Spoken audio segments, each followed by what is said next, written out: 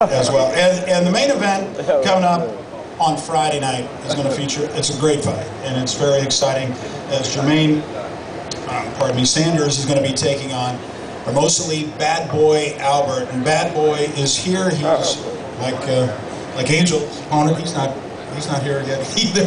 But welcome, Bad Boy Albert.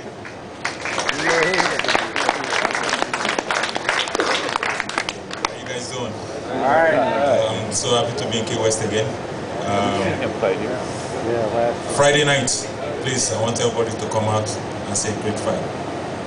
Because uh, this fight, you know, gonna step us, you know, the winner to the next level. So I want you guys to come, you know, get here early, don't come late.